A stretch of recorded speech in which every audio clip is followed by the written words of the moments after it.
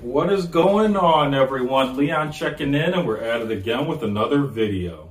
In today's video, we'll be unboxing and reviewing the rotatable 21.5 inch Chromebase all-in-one touchscreen computer. Now this model is available in several variants, but I opted for the Intel Core i3 with 16 gigabytes of RAM and 256 gigabytes of internal storage. Now these specs paired with the large display should make this setup ideal for productivity, media consumption, and storage. Now this video is featured on the Chromebook and Chromebase playlist, so you can find information related to this topic quickly and easily.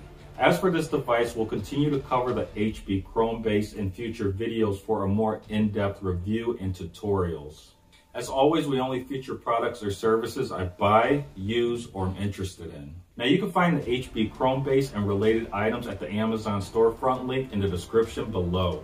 All things said, let's go ahead and get into it. So here we are with the unboxing. All items ship in a generic package. On top, we have the power supply and Bluetooth mouse and keyboard with included batteries. Now, underneath this, we'll actually have the Chromebase, which is certainly going to be well protected during shipping. So let's talk about the Chromebase. First setup is quick and easy and usually can be completed in 15 minutes to half an hour if you have a previous Chrome OS backup. This Chromebase features a 21 and a half inch rotatable touchscreen a highlight feature of this all-in-one computer.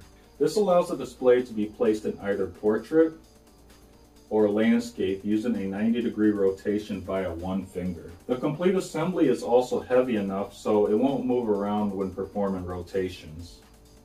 There's also enough resistance to leave the display halfway through rotation, which means that you're not going to lose control of the display as you rotate it.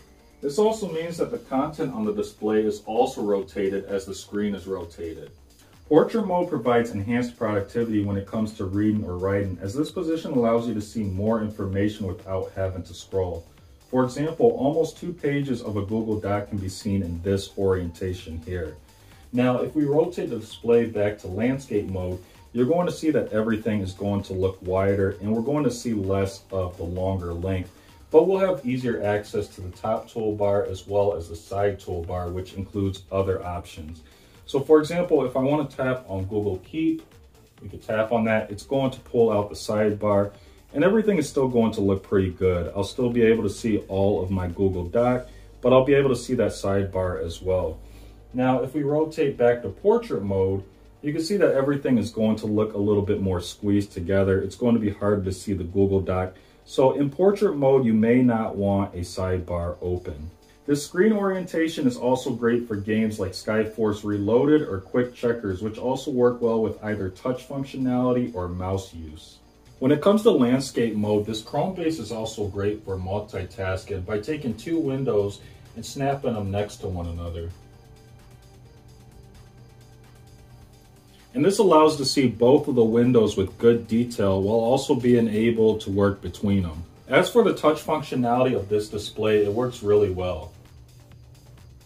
The display features a half inch thick black bezel with white trim that provides just the right amount of contact area to place your finger so you can rotate the display without interacting with the display's contents. On the top left edge of the bezel is chrome branding while the camera sits in the top middle. So what is up everyone? This is video coming from the HP Chromebase and it also gives you an opportunity to hear what the mic sounds like.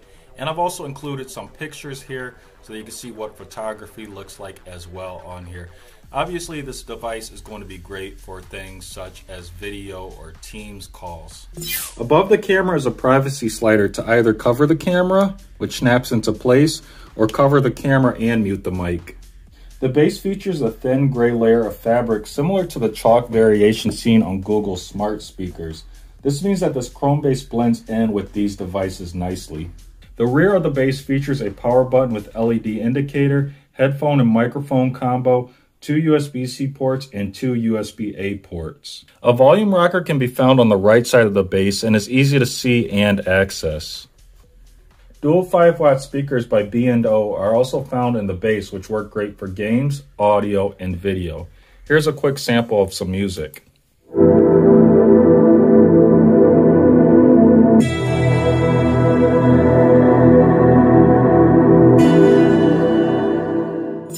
Here's a sample of Skyforce Reloaded.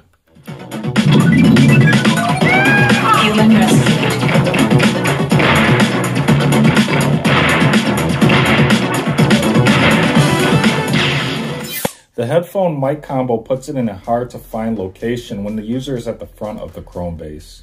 An aux cable will also have to be long enough to reach you from the back of the device, and even if it is long enough, most of the time it finds its way between your hands and the keyboard.